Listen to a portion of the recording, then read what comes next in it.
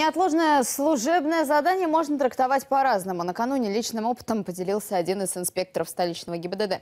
Спецсигналы на полицейской машине он использовал для поездки в магазин.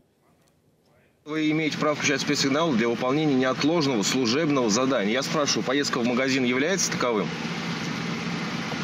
Является. Является. Фамилию можно вашу?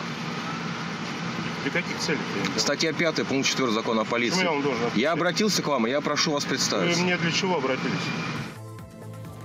Но вот до сих пор неизвестно, что такого неотложного приобрел страж порядка из, продук- из продуктов и какая часть от служебного была в его поездке.